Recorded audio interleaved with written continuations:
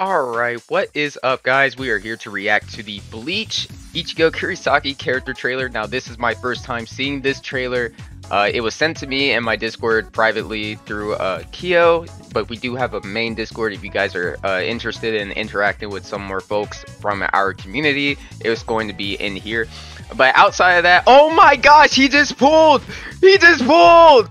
that is crazy. Alright, let's see Oh my god. Hopefully this is... Damn, that is loud. I'm not gonna lie. Alright, here we go.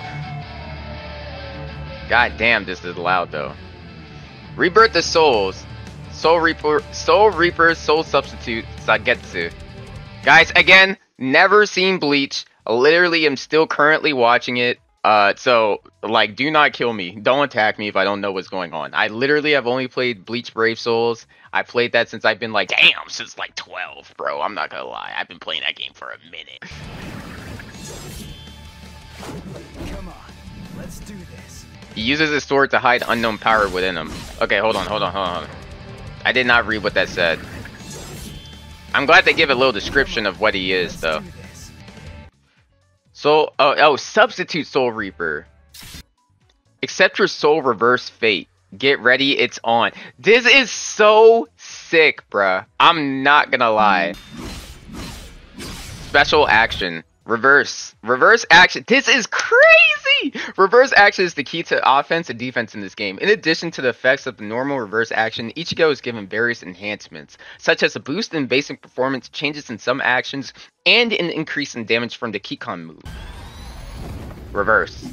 So that's his Zangetsu. Distinct technique. Special flash attacks. A, a, move that attacks will while charging forward. When successfully executed, the attack will be continued if an additional input is made during the attack. So he has a Rekka. Nice. Okay, spiritual pressure. Spiritual pressure move, wielding. An attack used by wielding Zangetsu that momentarily makes Ichigo invincible. An additional powerful attack is activated when it success when it successfully hits. Okay. Nice. What is that? Reverse fate? I'm not losing. Awakening. Overturn the tide of ba battle. Excuse me.